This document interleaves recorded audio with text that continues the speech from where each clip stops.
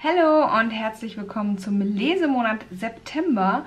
Und in diesem Monat ist es wirklich ein reiner Lesemonat, denn ich muss gestehen, es wird ein zweites Video geben. Es wird diesen Monat ein Neuzugänge-Video aus dem September geben. Für euch ist das schön, ihr bekommt zwei Videos, ihr seht ein paar neue Bücher, die bei mir eingezogen sind in einem separaten Video und der Grund ist, dass es so viele sind, dass es mir nicht nur unangenehm ist, sondern einfach ein zweites Video her muss, damit dieses hier nicht zu lang wird. Das also vorweg. In diesem Video seht ihr ein Live-Update und die gelesenen Bücher, was auch nicht wenig war im September. Ich habe nämlich vier Bücher gelesen, zu denen ich euch näher berichten werde und zwei Bücher sogar abgebrochen und damit meinen Sub echt gut reduziert, wären da nicht die Neuzugänge. An der Stelle kann ich euch schon mal sagen, mein Sub wäre eigentlich bei 62 Büchern, was mega cool wäre, aber er ist dann angestiegen auf 68, weil sechs neue Bücher bei mir eingezogen sind. Freut euch auf den Oktober, denn im September wären es schon mehr Neuzugänge, wären nicht zwei der Bücher Vorbestellungen, weil die erst im Oktober erscheinen.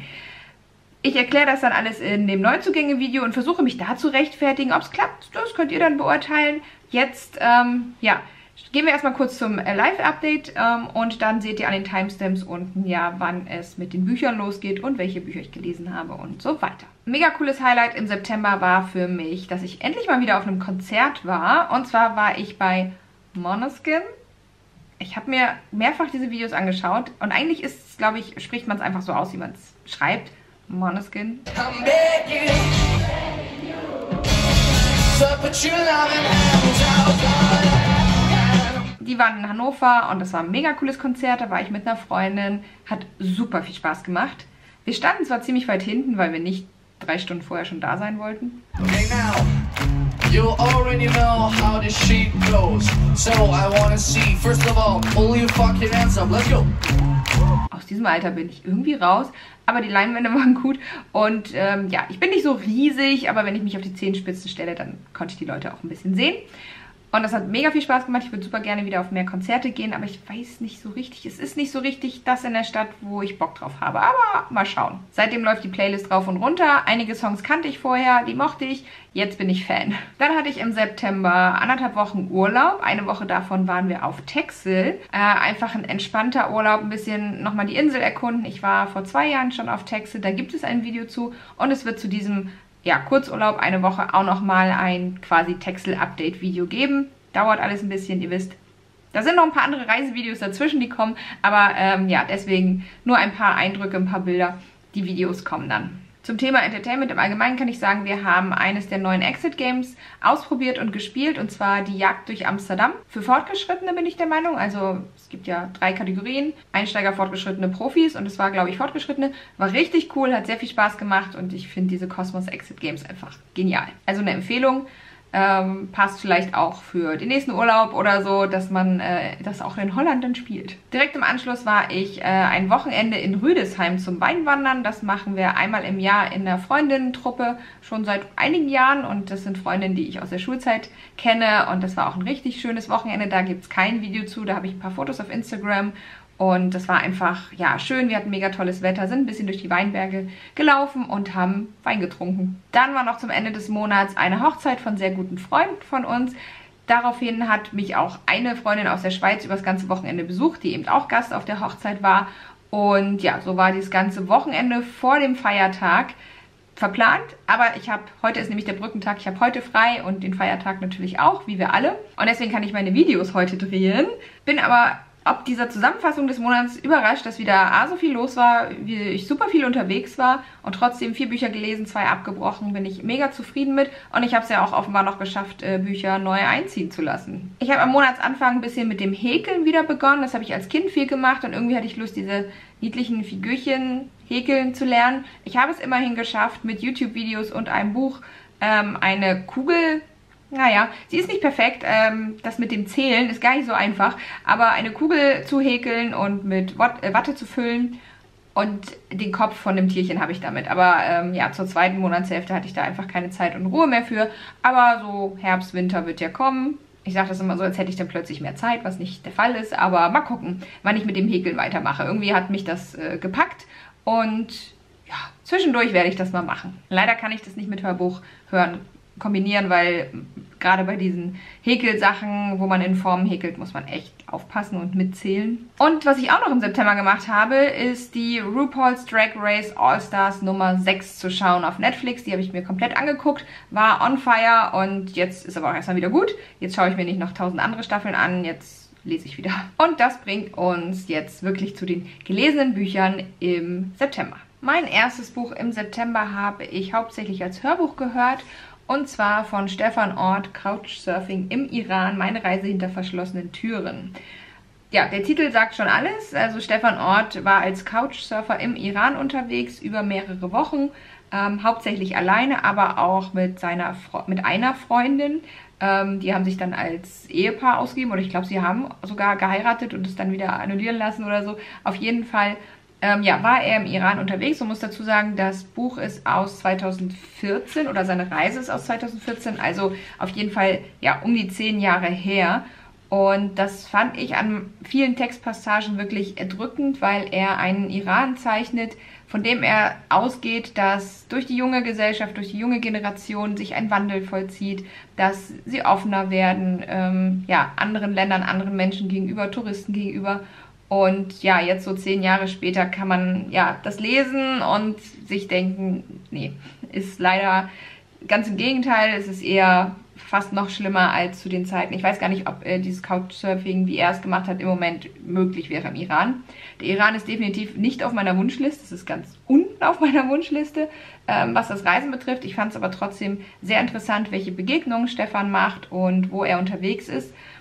Das Buch lohnt sich auch äh, neben dem Hörbuch. Das Hörbuch ist nicht von ihm eingesprochen, ähm, was ich grundsätzlich gut finde, weil es von einem richtig, richtigen, also einem ausgebildeten Sprecher eingesprochen ist. Hier haben wir auch eine Landkarte vom Iran, wo man eben seine Reise nachvollziehen kann. Ich kann euch sagen, die ganzen Orte habe ich alle wieder vergessen, weil dafür sind die Orte einfach nicht präsent in meinem Gedächtnis oder in, in Literatur, die ich sonst lese oder ja, europäische Städte, selbst wenn man dort nicht war, kennt man einfach, weil das ein Begriff ist. Ähm, das finde ich aber auch nicht schlimm, weil hier geht es hauptsächlich um die Begegnung, was Stefan so erlebt.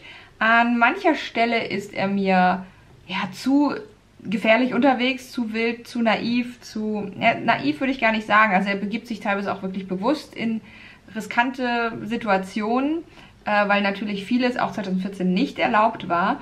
Und es ist schon erschreckend, wie die Menschen auch 2014 schon dort ähm, ja, vom Staat unterdrückt werden, ähm, was sie aber trotzdem im Geheimen und Verborgenen zu Hause, ja, welche Regeln sie missachten aber auch natürlich besonders schlimm, wie Frauen dort unterdrückt werden. Es sind viele Bilder hier drin, was geholfen hat, sich das Ganze vorzustellen. Es sind auch Fotos von Menschen äh, dabei, was sicherlich nicht ungefährlich ist ähm, für die Menschen, aber das hat er mit denen alles abgesprochen. Ja, die Stefan dort begegnet und man muss aber dazu sagen, das sagt der Autor aber auch selber, es sind es ist schon eine besondere Personengruppe, mit denen er zu tun hat, nämlich mit Leuten, die Couchsurfer bei sich wohnen lassen. Das heißt, es sind äh, gebildete junge Menschen, die Englisch können, weil sonst könnte sich Stefan mit denen nicht ähm, auseinandersetzen, mit denen nicht sprechen. Es sind Menschen, die offen sind, neue Leute kennenzulernen, andere Kulturen zu erfahren. Das ist natürlich ein ganz spezieller, ja, ganz spezielle Bubble, in die Stefan da unterwegs äh, gewesen ist, in der er unterwegs gewesen ist. Von daher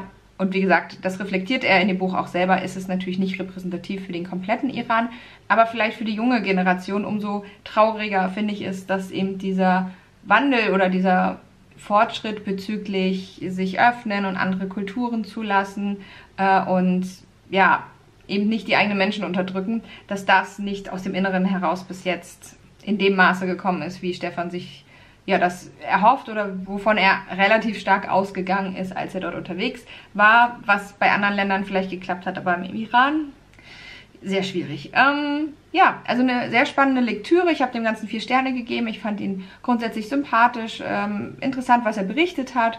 Und ja, das bleibt auf jeden Fall bei mir, weil es äh, schon ein sehr spannendes Buch ist und natürlich auch sehr interessant ist, wie es mit dem Iran weitergeht. Das zweite Buch, was ich gelesen habe, habe ich wirklich inhaliert. Ähm, das war das erste Mal seit langem wieder, dass ich ein Buch begonnen habe und sofort gefesselt war, drin war in der Story, wissen wollte, wie es weitergeht, der Schreibstil toll war. Und zwar spreche ich von Melanie Rabe, die Kunst des Verschwindens. Das Ganze hat vier Sterne von mir bekommen, vielleicht sind es viereinhalb, mit einem kleinen Abzug, aber dazu gleich mehr. Erstmal erzähle ich euch, worum es in diesem ja, Spannungsroman, würde ich ihn nennen, geht. Er spielt in Berlin und zwar geht es um die junge Fotografin Nico, die dort lebt. Es ist die Zeit zwischen den Jahren, also hauptsächlich so die Silvesternacht auch und äh, also winterlich. Wer sowas nicht im Sommer lesen kann, der sollte jetzt mal bei dem Buch vorbeischauen, denn es wird ja jetzt langsam kälter. Und ja, Nico ist als Fotografin, lebt in Berlin und trifft äh, eines Nachts auf Ellen. Ellen ist ein berühmter Hollywood-Star, der gerade in Berlin ist. Ja, die beiden sprechen miteinander, sie verbindet etwas, was Nico zu dem Zeitpunkt so gar nicht richtig greifen kann. Auf jeden Fall verstehen sie sich gut. Und dann verschwindet allerdings Ellen von der Bildfläche komplett. Und ja, gewisse Spuren führen dazu, dass Nico sich auf die Suche nach Ellen macht. So umreiße ich das mal grob. Das klingt jetzt nicht tiefgreifend spannend vielleicht, ist es aber auf jeden Fall. Melanie Rabe hat einen tollen Schreibstil. Sie schreibt sehr ja, wortgewandt, poetisch, aber nicht übertrieben. Die Dialoge sind extrem gut. Das ist mir besonders wieder aufgefallen, auch im Vergleich zu anderen Büchern, die ich manchmal so gelesen habe, dass die Dialoge sehr nahbar sind und Melanie Rabe den Lesenden da wirklich direkt in die Szenerie schmeißt. Trotzdem ist es nicht plump. Ähm, was mir sehr, sehr gut gefallen hat, ist, dass man immer wunderbar miträtseln konnte, wenn neue Brotkrumen von der Autorin gestreut wurden. Ja, baut sich das nicht alles äh, künstlich bis zum Ende auf, sondern einige Sachen werden zwischendurch immer mal wieder ja, entwirrt und gelöst. Aber das große Ganze führt natürlich dann irgendwann dazu, dass der Leser äh, oder die Leserin eben rausfindet, was mit Ellen passiert ist. Und dazu sage ich natürlich nichts. Das müsst ihr selber herausfinden. Das ist wirklich sehr spannend. Mir hat am Ende und deshalb der halbe Sternabzug so ein bisschen der Riesentwist gefehlt. Mir wirkte das ein bisschen zu konstruiert, aber der Weg dahin war fantastisch. Und es gab eine Szene in dem Buch, ähm, und ich sage jetzt mal Stichwort Wahl, für alle, die äh, das Buch gelesen haben, wo ich bis heute noch nicht ganz weiß, was die Autorin mir damit sagen wollte und wozu die diente. Also die wirkte für mich irgendwie fehl am Platz. Aber gut, alles in allem ein tolles Buch. Wie gesagt, ich habe es in wenigen Tagen weggesnackt. Richtig, richtig gut. Melanie Rabe ähm, hat mich damit wieder überzeugt. Ich äh, war ja begeistert von der Falle. Dann fand ich die Wälder gar nicht gut. Ähm, der Schatten war okay und irgendeins fehlt noch von ihr, was ich nicht gelesen habe. Aber die Kunst des Verschwindens, viele schwärmen davon. Ich verstehe es jetzt auf jeden Fall. Mir hat es richtig gut gefallen. Und weil so ein Hardcover ziemlich schwer ist und viel Platz im Reisegepäck mitnimmt, hatte ich auf einem der Kurztrips dann noch zu einem anderen Buch gegriffen und zwar zu einem ja, leichteren und äh, dünneren Taschenbuch von Sarah Fischer, Zeilen ans Meer, habe ich gelesen im September.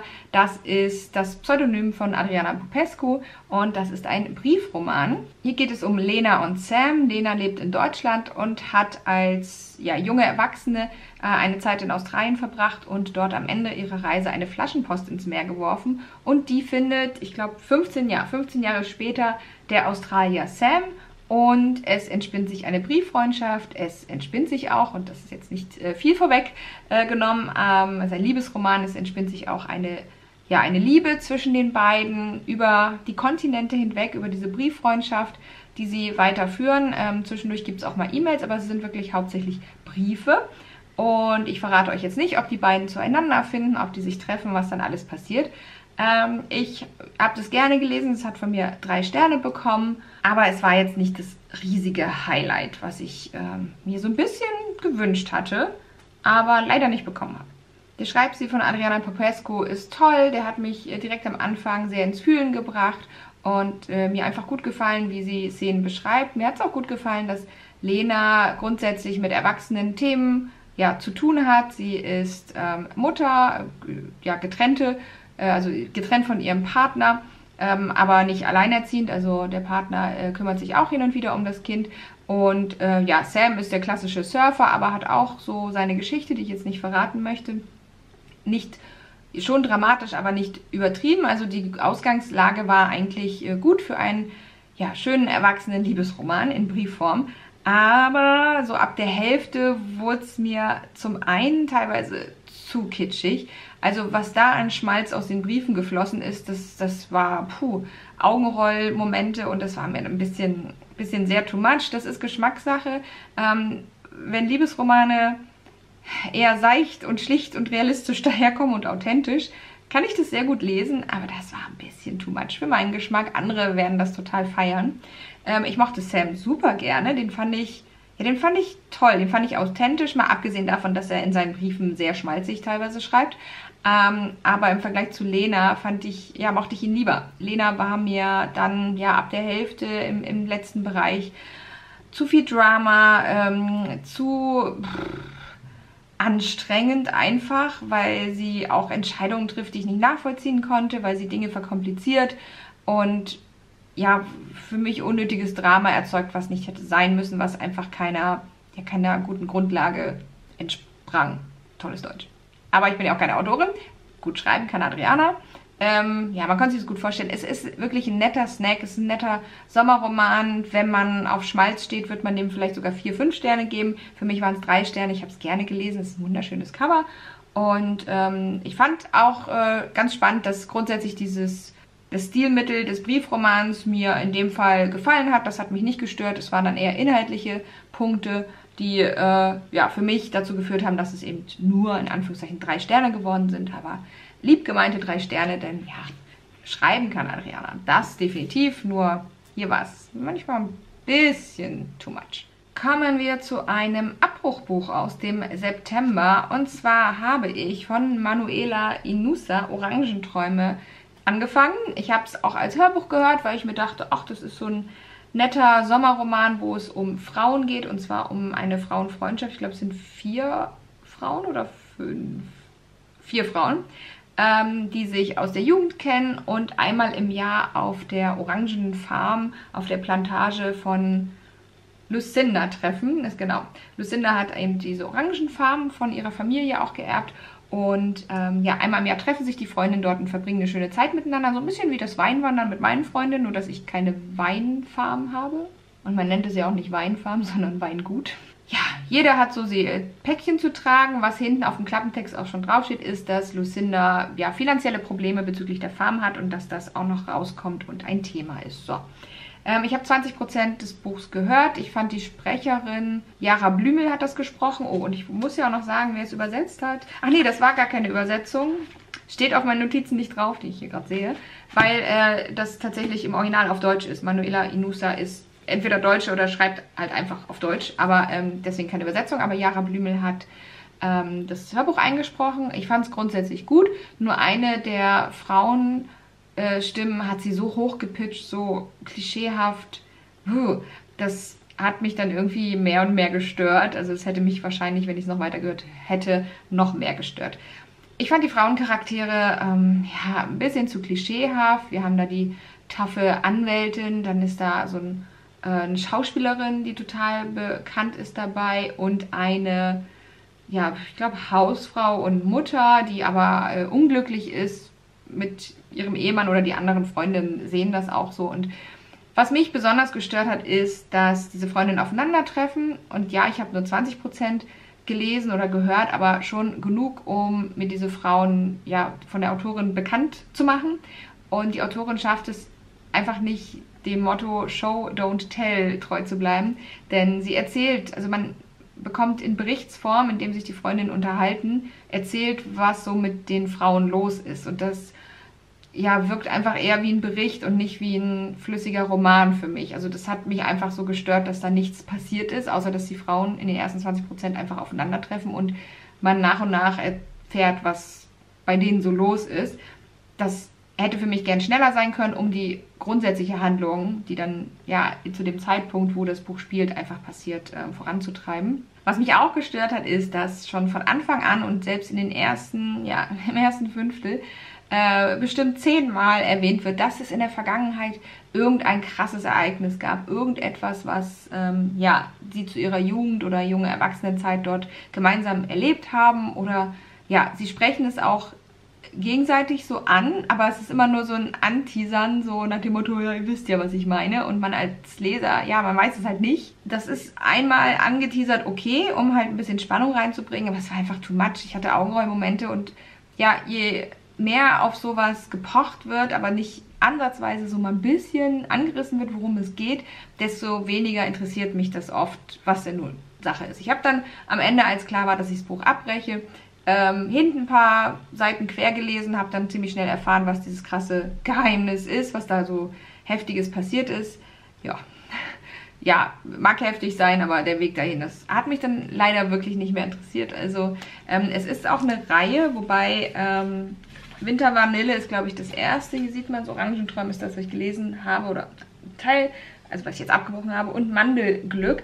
Ich glaube aber, es geht in diesen Büchern nicht um die anderen Freundinnen im Detail, sondern einfach um Farmen und äh, Geschichten, die rund um diese Farmen spielen, glaube ich. Aber korrigiert mich, wenn das falsch ist, falls ihr die anderen Bücher gelesen habt. Meins war es nicht. Ich werde nicht zu den anderen greifen. Ich werde jetzt bei der Autorin nicht ähm, ja, Juhu schreien, wenn ich ein Buch von ihr entdecke, auch wenn das ein sehr schönes Cover ist und ich mir einfach einen cozy, schönen Roman mit ein bisschen Dramatik und Geheimnisse von mir ist auch, aber so wie das äh, gemacht wurde, war das einfach nicht meins. Ich fand es ein, ja, ein bisschen schade, denn ich habe das Buch ähm, signiert ähm, aus der Buchhandlung. Ich dachte mal, ich hätte es mal gewonnen, aber ich habe es, glaube ich, in der Buchhandlung gekauft, weil die Autorin eine Lesung auch hatte ähm, in Hannover. Aber da konnte ich nicht und ich war danach im Laden und dann, ja, hat der äh, Chef mir das ans Herz gelegt. Die Autorin ist bestimmt super nett und wahrscheinlich, wenn ich bei der Lesung gewesen wäre, hätte ich das Buch auch gekauft. Aber der Inhalt war leider nicht so meins. Aber vielleicht gibt es ja Fans hier unter euch von Manuela Inusa. Dann könnt ihr gerne nochmal in die Kommentare schreiben, warum ihr das so gerne mögt. Und ähm, ja, es ist halt Geschmackssache. So ist das bei Büchern. Aber ich wollte einfach nach diesen 20% nicht noch mehr Lebenslesezeit damit verbringen. Weiter geht's mit dem vierten Buch, was ich im September gelesen habe, bevor ich euch dann noch ein Abbruchbuch zeige. Und zwar habe ich endlich Martha schläft von Romy Hausmann, das war auch ein Rachebuch, ähm, gelesen und ich äh, wollte es eben nicht als Hörbuch hören, weil ich schon damals, als das Buch rauskam, ja, sehr äh, zwiegespaltene Meinungen gehört habe, dass es auch recht verwirrend sein soll. Und ja, ich kann an der Stelle schon mal sagen, ich verstehe absolut, was die Leute meinen. Hier steht hinten nicht viel drauf, ähm, sondern einfach nur, hab dich und jetzt spielen wir. Wir spielen Gericht. Die Stimme in meinem Rücken sagt, das ist eines deiner größten Probleme, nicht wahr, meine Liebe? Dass du dir selbst nicht trauen kannst. Kein Wunder, wahrscheinlich bei deiner Geschichte. Ein abgelegenes Haus im Spreewald wird zum Schauplatz eines bizarren Spiels. Ja, da ähm, klingt so ein bisschen nach Fitzek, aber es klingt halt auch nach einem spannenden Thriller, ohne dass man viel weiß. Ich lese diese, also Klappentext heißt, glaube ich, wirklich das, was hier drin ist. Und hier ist, ich weiß gar nicht, wie das heißt. Aber ähm, ich lese den Klappentext selten, weil da oft viel zu viel steht. Und ich habe es dann im Nachgang, als ich das Buch beendet habe, ähm, den Klappentext gelesen, wo ich dann ja wusste, was in dem Buch vorkommt. Und kann auch sagen, ich möchte an der Stelle jetzt nicht zu viel spoilern, ähm, weil schon der Reiz des Buches auch ausgemacht hat, dass man nicht so richtig weiß, worum es geht. Es wird euch am Anfang nicht helfen, wenn ihr mehr wisst, glaube ich, weil es ist wirklich ein verwirrendes Buch. Romy Hausmann, muss ich schon mal dazu sagen, hat eine tolle, äh, tolle Sprache, einen tollen Schreibstil. Ich war gefesselt, auch wenn ich wirklich bis, ja, ich würde sagen, bis zum ersten Drittel nicht wusste, was für ein Film hier eigentlich, äh, ja, in welchem Film mich Romy Hausmann hier reingeschmissen hat. Mm, sie schafft es sprachlich aber sehr gut, tiefgründig, poetisch zu sein, so wie Melanie Rabe und trotzdem zwischendurch auch echt derbe, ja, derben Thriller-Sprech drauf zu haben, wirkt aber nie falsch oder fehl am Platz. Irgendwie passt das zusammen. Also das hat mir sehr, sehr gut gefallen. Ähm, und was so verwirrend für mich und ich glaube für viele andere Lesende auch war, ist, dass wir drei Ebenen hier haben, die immer mal wieder switchen. Man erkennt das anhand des, ja, der Titelüberschrift, aber wir wissen überhaupt nicht, was ja, was das alles miteinander zu tun hat. Man kann sich da absolut keinen Reim draus machen und ich glaube auch nicht, dass man das gut ja, mit, da miträtseln kann. Da muss man sich einfach so treiben lassen von der Story. Ja, eine Ebene sind Tagebucheinträge. Ähm, und am Anfang ist überhaupt nicht klar, von wem. Also so Tagebucheinträge, Schrägstrich Briefe, würde ich mal sagen. Aber sehr persönliche. Ja, man weiß nicht so richtig, wer schreibt es eigentlich. Das ja, da kann man rätseln, das erfährt man dann oder ja, versteht man dann irgendwann, aber am Anfang ist es wirklich verwirrend, was da so steht. Dann haben wir eine Perspektive von Nadja. Nadja arbeitet in einer Anwaltskanzlei in, ich glaube auch Berlin, ja, Spreewald, äh, in Berlin und sie bekommt einen Anruf von einer Kollegin, Freundin, Bekannten, wo etwas Schlimmes passiert ist, so viel kann ich schon mal sagen und das ist ein Strang in der Geschichte. Und dann gibt es noch ähm, den Part Die Geschehnisse 2014. Da kann ich schon mal sagen, das spielt zwischen den Tagebucheinträgen und Nadja. Und was das alles miteinander zu tun hat, das war wirklich verwirrend am Anfang, weil man ganz oft auch, oder ich nicht so richtig gerafft habe, wer ist hier gerade der Erzählende? Also bei Nadja ist es klar, bei Tagebucheinträgen und Geschehnisse irgendwie auch nicht. Es sind unterschiedliche Arten, wie es geschrieben ist. Es ist schon echt cool gemacht. Und ich muss sagen, ab der Hälfte war ich richtig drin, als ich so ein bisschen gerafft habe, worum es hier eigentlich geht, war ich mega on fire, weil man dann noch mehr auch die anderen Passagen neben Nadja ja in den Kontext setzen konnte und dann halt viel besser verstanden hat und viel besser folgen und das noch genießen konnte. Zum Ende hin fand ich es ein bisschen konstruiert. Es hat drei Sterne von mir bekommen, kann ich schon mal sagen, weil das Ende war mir ein bisschen too much, ein bisschen konstruiert, auch wenn es gut und für mein Empfinden logisch alles zusammengeführt und aufgelöst wurde. Wobei ich auch sagen muss, dadurch, dass der Anfang so verwirrend war, kann ich nicht die Hand dafür ins Feuer legen, dass die Autorin wirklich alle Stränge gut zusammenfügt und keine Fragen offen bleiben. Ich weiß es nicht. Das war ein bisschen too much und dadurch, dass es am Anfang so verwirrend ist, es war für mich nie ein Abbruchkandidat. Ich kann aber durchaus verstehen, wenn Leute nach 100 Seiten aufgeben und sagen, boah, ich, das, ich raff's nicht. Ähm, eine ähm, ja, andere Lesende, das hatte ich auf Goodreads, ich habe den Namen leider nicht notiert, ähm, hat gesagt, das ist so ein 1000-Teile-Puzzle und wer daran Spaß hat, feel free. Also es ist ein Drei-Sterne-Buch, was aber erstmal bei mir bleibt. Es ist auch, also es bleibt sowieso bei mir, weil es ist für mich signiert. Aber es ist irgendwie interessant und ja, vielleicht greife ich nochmal dazu. Ich kann mir auch vorstellen, dass ich relativ schnell die Handlung vergessen werde. Das ist ein Thriller-Problem bei mir, ähm, ganz allgemein, aber auch eben hier durch diese wirklich sehr anspruchsvollen ersten Seiten, also anspruchsvoll für mein Gehirn, ähm, ist es, glaube ich, schnell weg. Aber irgendwie ja, wenn ich jetzt so drüber spreche, war es schon cool. Ah, ich glaube, diese Rezension hilft euch nicht wirklich weiter. Aber vielleicht hat es euch neugierig gemacht, mal reinzulesen wenn es euch nur beim Reinlesen so ein bisschen interessiert, haltet durch, auch wenn das eigentlich etwas ist, wo ich sage, boah, ey, wenn es mir am Anfang nicht gefällt, dann breche ich es lieber ab. Aber ich hatte, wie gesagt, nie dieses, den Wunsch abzubrechen. Irgendwie war ich drin. Ich hatte aber auch zu dem Zeitpunkt, wo ich es gelesen habe, ganz gut abends immer Zeit, um auch wirklich große Abschnitte zu lesen. Wenn man das jetzt mega gestückelt liest und nicht gut vorwärts kommt, weil man nicht so viel Zeit hat, dann ist es nicht das richtige Buch. Also meine Empfehlung ist, wenn ihr es lesen wollt, dann ähm, zu dem Zeitpunkt, wo ihr auch die Zeit habt, das innerhalb von einer Woche zu lesen. Und nun komme ich zum letzten Buch, was ich euch in dem Video vorstellen möchte. Und zwar ist es das zweite Buch, was ich im September abgebrochen habe. Und es tut mir wirklich weh, weil es das vierte Buch der Autorin ist, was ich gelesen habe. Eins davon ist ein Lebensleser-Highlight. Eins fand ich richtig, richtig gut. Und das dritte fand ich okay. Und das hier ist mein viertes gelesenes von der Autorin, aber ihr drittes veröffentlichtes Buch. Und viele werden vielleicht wissen, von wem ich spreche, und zwar von Beth O'Leary. Und zwar geht es um Drive Me Crazy. Für die Liebe bitte wenden. Ich habe es bei 27% abgebrochen. Ich habe es als Hörbuch gehört, was grundsätzlich gut funktioniert hat, denn es geht hier um zwei Hauptcharaktere, und zwar Eddie und Dylan. Genau. Eddie und Dylan waren mal ein Paar, sind es jetzt nicht mehr. Und äh, am Anfang der Story ist es so, dass Eddie mit ihrer Freundin Deb auf dem Weg ist nach Schottland zu einer Hochzeit und dann gibt es einen Autounfall und äh, ja, Dylan ist mit seinem Kumpel Marcus äh, auch unterwegs gibt noch eine fünfte Person, die mit im Auto sitzt bei Eddie und Depp. Ja, es kommt zu einem Autounfall und es führt dazu, dass eben alle fünf zusammen in einem Auto weiterfahren müssen. Nämlich, ja, in dem Fall dann Eddie und ihr Ex-Freund Dylan, jeweils die Freunde und ich weiß gar nicht mehr genau, wie der fünfte äh, da irgendwie, der, der, das ist glaube ich ein Arbeitskollege von der Braut, der ist irgendwie auch dabei. So, und ich hatte mir ganz, ähm, als das Buch ganz neu war, so einen richtig coolen, lustig, romantischen Roadtrip vorgestellt. Also besonders auch witzig, wenn man eben die ersten beiden Bücher von ähm, Beth O'Leary bedenkt. Da, ja, es ist einfach locker und intelligent, charmant geschrieben. Sie kann gut schreiben, aber hier muss ich sagen, habe ich die Autorin nicht wiedererkannt.